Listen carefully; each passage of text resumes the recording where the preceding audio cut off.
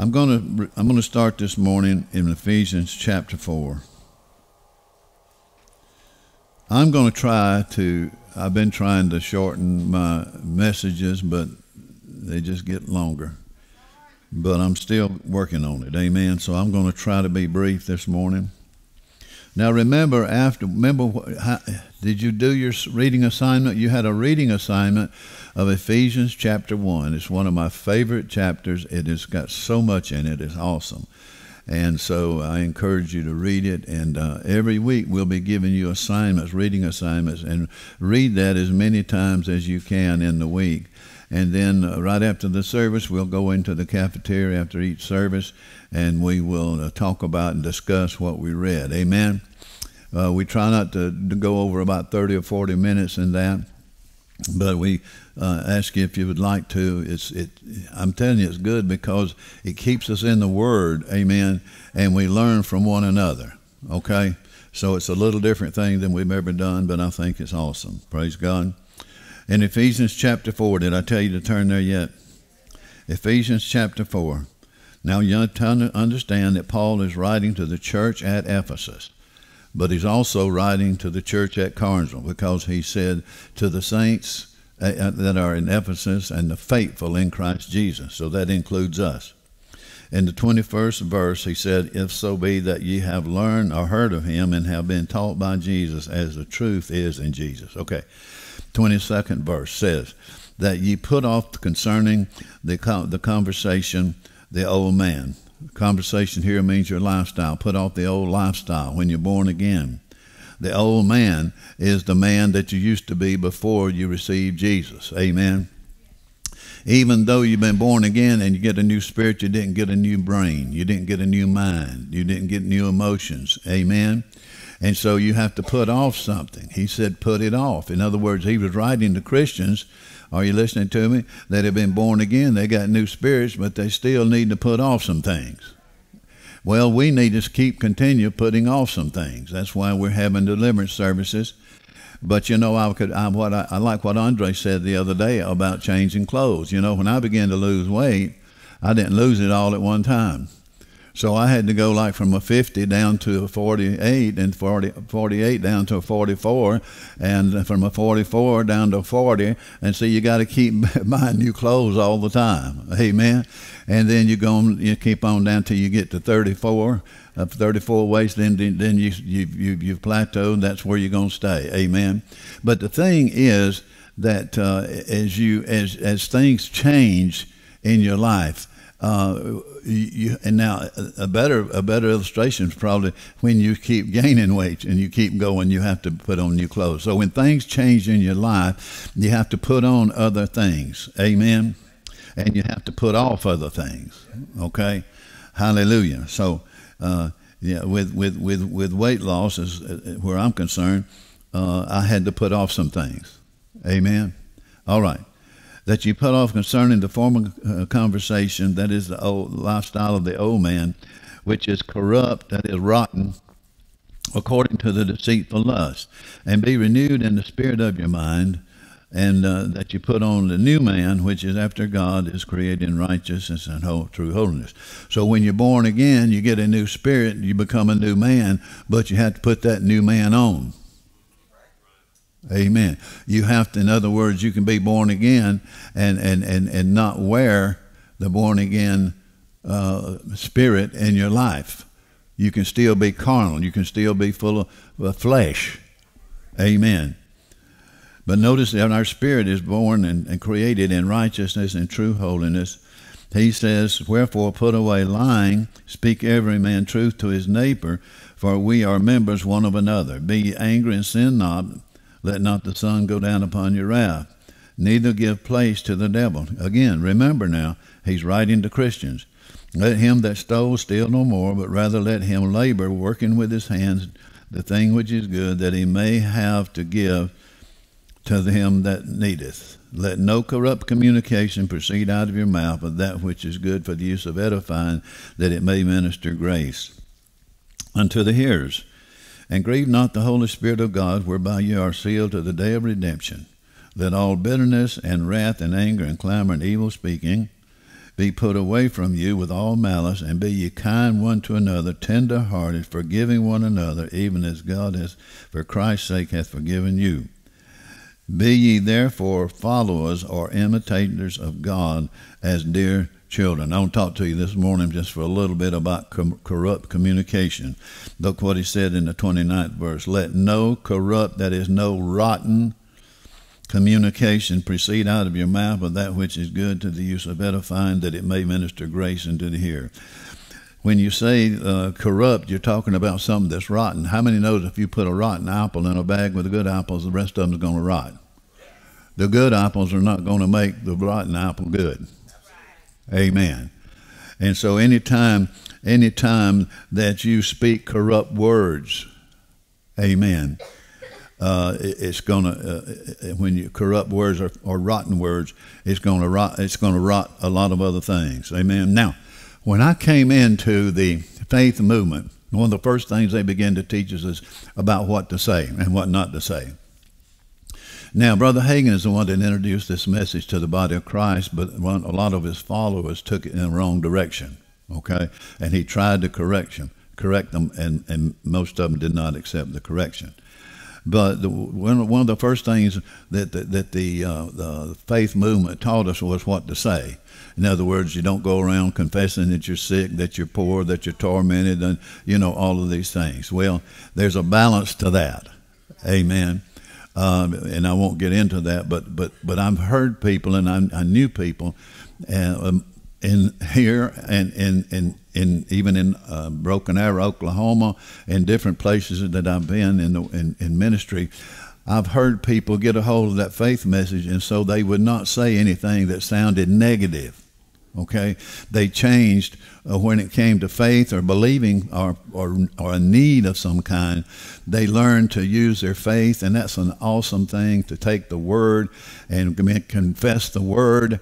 Amen. To believe uh, to bring themselves into a place of faith. Now, but I saw the same people that was trying to correct themselves in this area. I've seen them criticize backbite, fault find, gossip, lie. Amen. So how many knows there's more to it than just not making a bad confession? Amen. He said, Let no corrupt communication proceed out of your mouth, but that which is good to the use of edifying. Uh, Proverbs 18:21 says, "Death and life are in the power of the tongue." That's a very familiar scripture uh, to all of us, but just think death and life are in the power of the tongue. Did you know you can kill people with your tongue? It happens all the time where people give false testimony. People go to prison. Sometimes people are executed uh, because of, of what they what they say. You can destroy somebody's reputation. Mm-hmm. Death, and it's where where's all that found in in your tongue? On the other hand, you can speak life. Death and life are in the power of the tongues, of the power of the tongue. Let me give you a few things about words. Words are spiritual containers. Every time we speak, there's something that's released, whether it's doubt and unbelief, or whether it's faith and hope. Are you listening to me? But they contain something. Words contain something good somethings and bad somethings. Amen. Words are eternal. How many know you can't unsay words? Uh, how many knows we probably ought to start thinking about it before we say? Mm-hmm. How many knows that when you get frustrated or when you get angry or when you get hurt, there's just a strong, strong unction to say what you're experiencing?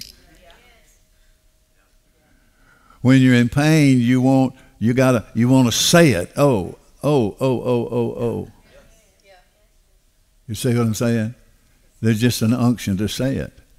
We'll look at some of these things in a little. Listen, what I don't get done today, I'll do next Sunday, okay? Or not next Sunday, but Sunday after. They are eternal. And I've heard this you know, from the uh, Reader's Digest I'm assuming that it is absolutely true. I've said it many times, but I just want to let you know that words, after they're spoken, they never cease to exist. They never. It's like when they first begin to go into outer space, send satellites into space. They begin to pick up words. They begin to pick up words out in space and they had to research it and find out and come to find out it was a radio program from the 1930s it's still out there. Our words are still out there. They are eternal. Jesus said that we would all give an account for every idle word. Are words important? Yes. is what we say important Words are seed, the Bible says. Our words are seed, and a seed is designed to produce, and it produces after its own kind. So if we preach, if we speak death, we're going to get death, and not only do we get as much as we sowed, we're going to get it in multiplied form. But thank God the same is true about life.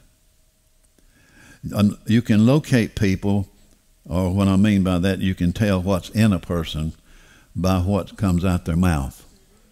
Jesus said, the abundance of the, from the abundance of the heart, the mouth speaketh. We'll get to it in a minute when we read some more. If we get there, if we don't, like I said, I'll get there next uh, the next time I'm, here, we minister. But words de- de- determine our direction in life. Words determine which way we go in life. You can't talk one way and go another. Mm-hmm. I noticed that one of the first things that happens when you're born again, one of the first things that happens is you start talking different. Or we should. That's the first thing that changes. Everybody say changes. changes. Words can change what you believe. In other words, you can take the Word of God and keep saying it concerning to your mountain or your situation and say it until you believe it. mm-hmm. Once you believe it, you cross from hope into faith. And once you get into faith, then you receive the, what your need is. Words change the way we feel. Mm-hmm. Have you ever heard words that affect your emotions? Have you ever heard words that make you angry, that make you sad? Mm-hmm. That, that, that stir up things on the inside, negative emotions on the inside. But on the other hand, he said, let all things be done with the use of edifying.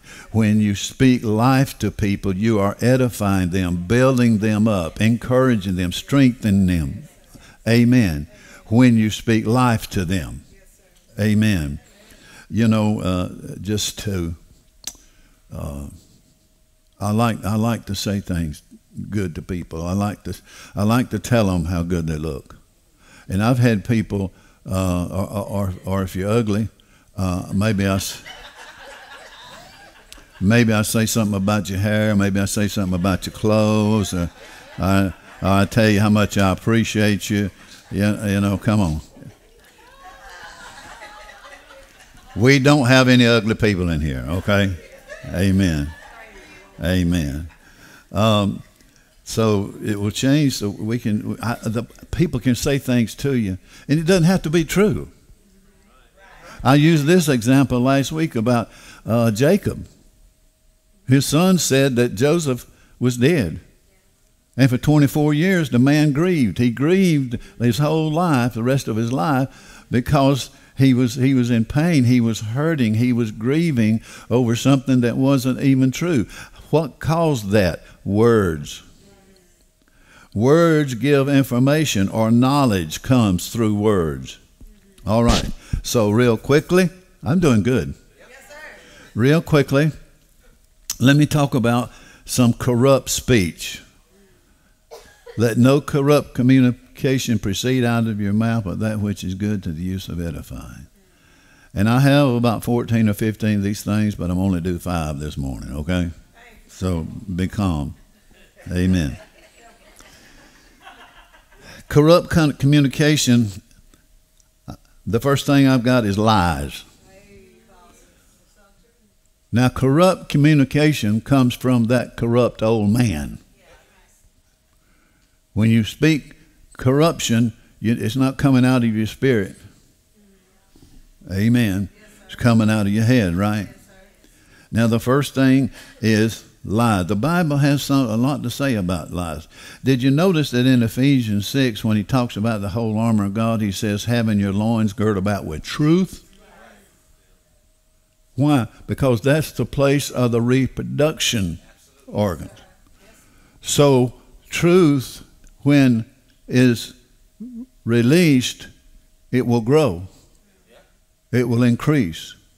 But here's the, here's the thing a lie, a lie will keep reproducing itself. Long after the lie is told the first time, it will keep on and on. And not only will it keep reproducing, but it'll be added to as well. No lie, when it begins out of a person's mouth, stays the same. And I'm telling you, uh, the Bible says, listen to this Proverbs 6 17. God hates a lying tongue. I said, God hates a lying tongue. So you get to choose whether God loves your tongue or hates your tongue. I don't want a tongue that God hates. I don't know about you. James 1:26 and we may spend some time more time on these uh, the next time. Uh, James 1.26 says, matter of fact, I want to read that.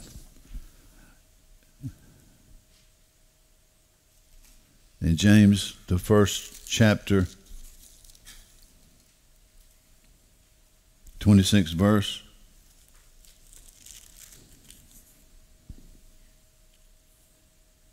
There's not 26 verses in there, is it?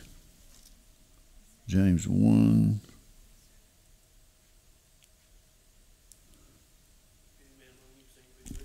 Huh? Yeah, where is that? James 126? Oh, two pages are turning at the same time. My Bible is my Bible is uh, is huh? Yeah, my Bible's being revised, but it's been through a lot, you know. This is what he said. If any man among you seem to be religious. Now, when he says religious, religion is to adhere to a certain code or certain belief and so forth.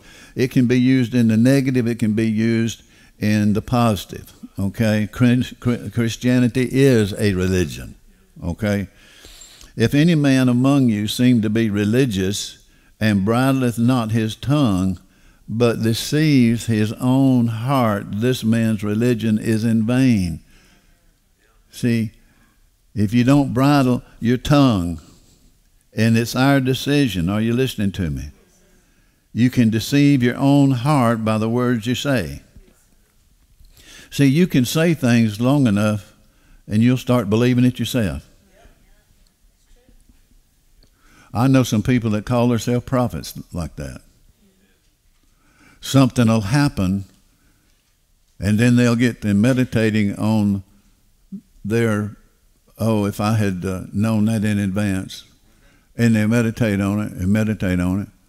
And then they begin to say that they knew it was going to come to pass before it happened. And the reason I know this is because I've been with people, hello, that uh, I knew what happened, but that's not the way they said it. Uh, they meditated on it and said it until they began to believe it themselves. Did you know you can do that? You can deceive your own heart with lies. Okay? The second thing I want to mention is gossip. Gossip, listen to the definition of gossip. Gossip is a casual or unrestrained conversation or reports about people involving details not confirmed to be true. Let me say it again. Gossip is a casual or unconstrained conversation or reports about people involving detailed detailed not details not confirmed to be true. A lot of a lot of that's when you talk about something you don't know anything about. You're saying things that's not that you can't prove is true. You just heard it somewhere, or you thought it up for yourself, and and uh, you know you want to you want to uh, impress somebody. Mm-hmm. Well, what's the answer to that? What word have I used for the last five or six years? Investigate. When you start hearing a bunch of stuff about somebody, especially a brother or sister in Christ, especially about leadership, investigate. Find if it, find out, see if it's true or not. Because many times it's either a total lie or it's just a part truth. I don't know if you know it or not, but uh, rat poison is about 99% nutritious and tastes good. If it didn't, the rat wouldn't eat it. Amen. You can tell a whole lot of truth and just add a little bit to it. And it's still a lie. So we're talking lies and then we're talking gossip. And the answer to that is investigate. Number three is criticism. Criticism is the expression of disapproval of someone based on perceived faults and mistakes. Criticism is a condemnation. We criticize people. I've said this a lot later, lately. But we criticize people for their acts or their sins, and we criticize them and we condemn them because they sin differently than we do. Because, because they've got a different fault than we have. Amen. But now when you criticize somebody, think about think about what the purpose is about it. What is it that drives you, see, to speak negative things and criticism about your brothers and sisters in Christ? Some of us need deliverance from that.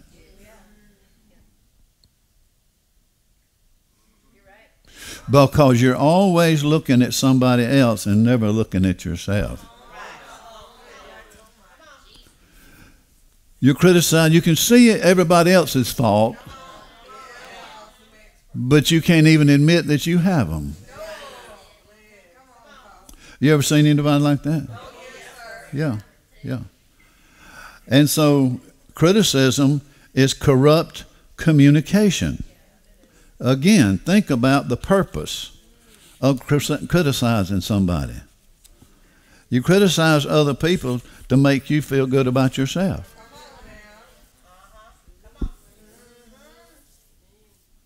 I'm thinking about I'm thinking about when Brother Swaggart fell and and different things like that, and yet he was still anointed of God up until he was um, exposed. And I heard ministers say, "Well, I, don't even do that. In other words, I've got a small ministry, he has a huge ministry, and I don't even do that, so I'm really better than he is. And I'm and I'm thinking, you don't know yourself very well, do you? You don't know you don't know what you would have done if you had the same stronghold in you that he had in him. I'm thinking differently these days. I'm seeing things differently these days. Amen. I'm approaching things differently. I'm approaching people differently. Religion is all about condemning people for not living up to a standard that set that you have set or that somebody else has set. Amen. Do you know a lot of times ministers will minister real hard against something because they're guilty of it or they're tempted by it? Used to, used to, you hear preachers, they would talk, they, and I, you, you don't know this, but I came up in this. And about 75% of what they preached was about uh, how women dress. How they, they are provocative. Uh, you know, they, they talk about even women wearing pants, suits, and women wearing makeup, and women you know, wearing short dresses and you know, you know why they you know why they fought against it so hard because they had a lust problem. And they think if I change them, I won't have a problem. If I change them, then I won't be tempted. Boy, I'm pretty. Y'all know I'm. So we want to change everybody else because of our our problem. Hello out there. So then, so religion. Now it's not that. Well, I don't hear that anymore. I think most full gospel denominations now have moved on from that. Uh, although, let me say this and you see this in young women uh, more than older. I appreciate the way our women dress. Amen. But you know, I, I like what uh, what somebody said. Especially this is young younger women, and not just younger women, but you know, if it's not for sale, don't advertise it.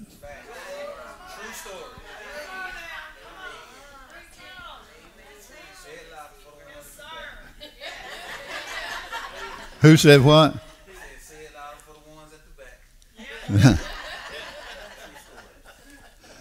yeah, yeah.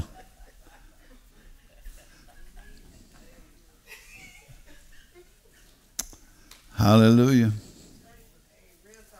What would motivate a woman to dress provocative? looking for a man. Well, no, no, no. A lot of them already got a man. But they want somebody to look at them. Yes, insecurity. Now, don't misunderstand me. Uh, I know some people don't want don't want a man looking at their wife. I wouldn't want a wife nobody look at.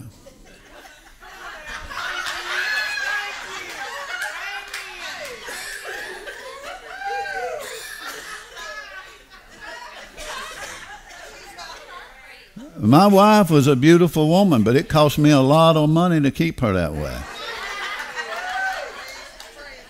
But it was worth it. There was a there was a guy we used to work with, and he was like in his early twenties, and he came to church. This is many years ago, and that's when David Jr. was coming to church. Some So they're standing in the back. He looks up there and sees Geraldine. and Said, "My God, who is that?" Junior said, "That's my mama, boy."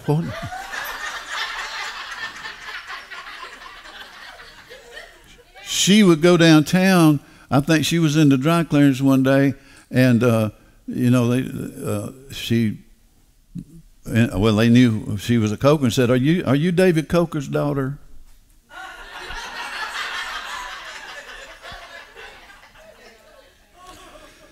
that doesn't make me mad. That made me feel pretty good. Now look what I got. Look all you want to. The fourth thing is, I'm doing good, man. Oh my goodness. I'm going a little bit over. Okay. I just got two more. Can we deal with it? Uh, Another thing is def, de, uh, words of deceit. Now, let me tell you what I mean by that. I use this phrase from time to time. I'll try to explain it. Some people speak in what I call veiled sentences or veiled statements. They talk in such a way that leaves you, they don't say it. They don't say what they're really trying to um, get you to get you to see. They don't see. They they want to speak about it in such a way that you leave guessing. I've had people tell me uh, this. I'm thinking about this one incident, uh, and they actually told me that uh, you got some you've got some adultery going on in the church. And I said, Who? Well, I'd rather not say. I don't want to say. I don't want to say. I said, You to say. You come to me and tell me I got adultery in the church, you're going to tell me who, who it is. And if you can't tell me who it is, then don't come tell me that foolishness. So what they want to do is they want to plant that seed in your mind. Amen. And not tell you the truth of the whole matter. In that situation, this person perceived this to be true, but it was a total lie. And when I heard it, I knew it was a total lie. But in their mind, they perceived something that was not true. See? Do you understand what I'm talking about when I talk about veiled sentences? They say things without saying it. Mm-hmm. And they leave you in a situation to where you interpret it. They plant a seed so that you have to judge it and, and interpret it. And when they do that, you usually get it wrong. How many times in my years of pastoring, apostolizing, well, being bishop over the 35 years, how many times has somebody in the congregation came to me and said, so and so and so and so and so. It took me a while, and just get my get my nerves all to it, get my emotions going, because I'm assuming they they're not liars. But you know what I did? Exactly. So I go get the one that they're making the accusation against. And, I, and so if you're going to tell me this about this person, I mean, one time I remember, one time it was Eric. Somebody tell me something about Eric. Oh, Eric, yeah, yeah, yeah. I said, uh, go get Eric. Eric, you remember that? When, when Eric came in and the person sitting here that was saying all this and stirring my emotions up, when Eric came in and I heard his side of the story, and he said it in front of this person, this person had to admit that they were taking things out of context, that they were misinterpreting things. You know why they do that? Because that's what's in them. You know why people criticize? Because criticism is in them. You know why they lie? Because lying is in them. Mm-hmm. You know how why people deceive and try to see that makes you feel important. I know something you don't know. And I'm not going to tell you what it is.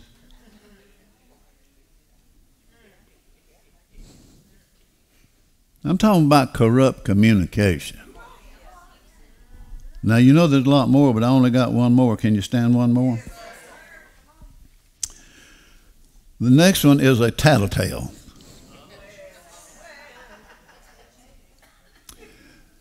The Bible calls it uh, tale bearing. People are insecure because they got to. Oh, I know something you don't know, and I got to go. I got to tell you. You know, uh, my granddaughter Lindsay. I got. I'm gonna tell you something. I'm, I'm gonna tell you a secret, honey, but don't you say anything to anybody. Oh no. First thing she does, go tell somebody. I got a secret.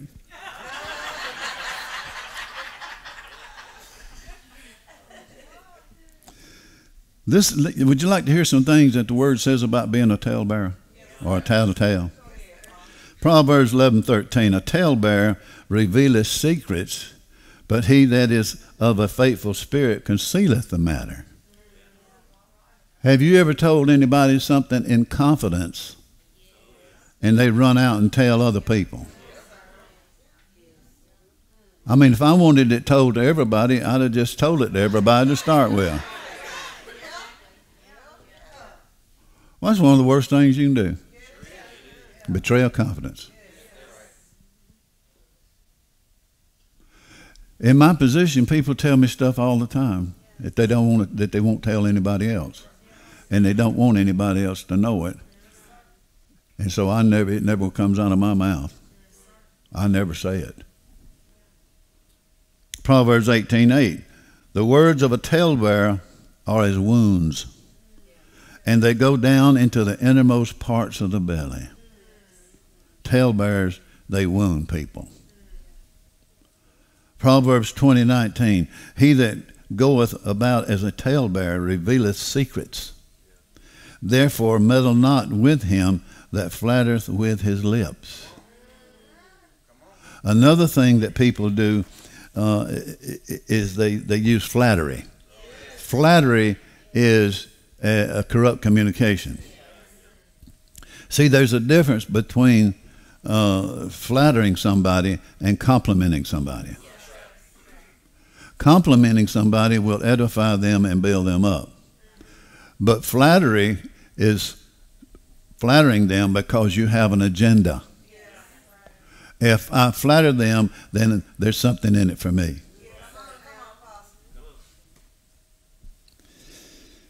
Where there is no wood,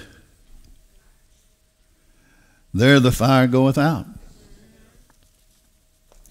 I mean, you know, if you would, uh, if somebody comes and tells you something, and if you keep your mouth shut, it'll die with you. Where no wood is, there's no fire. The fire goeth out. So where there is no talebearer, strife ceases. Uh huh. That's Proverbs 26 20. Proverbs 26 22. The words of a talebearer are as wounds, and they go down into the innermost parts of the belly. That is that is very uh, similar to the one we just we just read up on. Where's it at?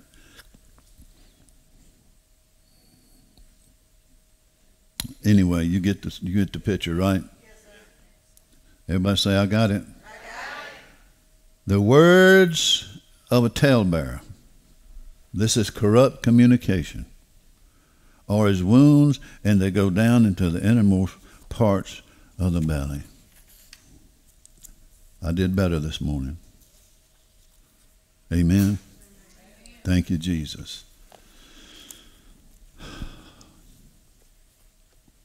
So then, the moral of this story is, as I've already said it,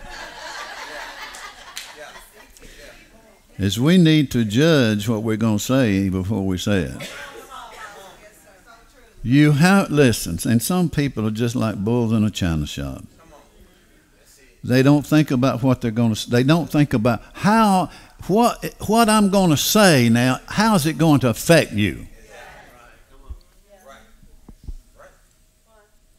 There's certain things that I don't say up here. I stay away from it. Because I know there are people that have a problem with it or have experienced something, and I don't want to hurt them. So I don't say, now I'm not talking about the word. We say the word, right? Amen. But some things I don't say because of the way it's not going to build them up. It's going to put them down. They're already under condemnation. They're already guilty. They don't need anybody to come along and make them feel worse than they already do. Amen. How strongly can I say it? Think before you speak. Now, now, now, now, now, now, now, now, now, please. Don't think that I am perfect in this. Like I said the other day, usually every time I minister, I go back and I, I, and I'll find something I wish I hadn't said. I used to minister out of pain. It wasn't right. It wasn't good.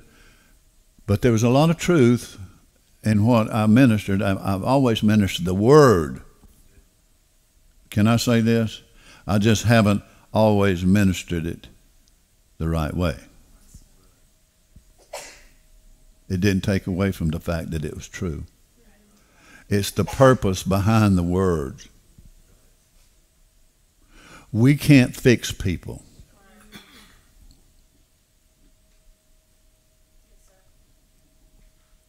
All we can do is encourage them not in their sin, but tell them who they are in Christ.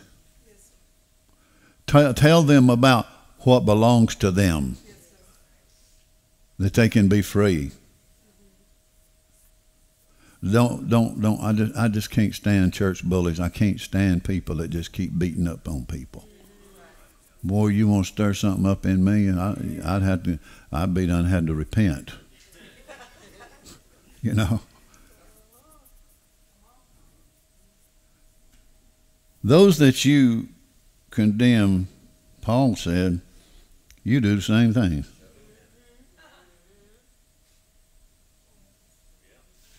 The people you condemn, you're guilty too. You know everybody in here's got a fault except me?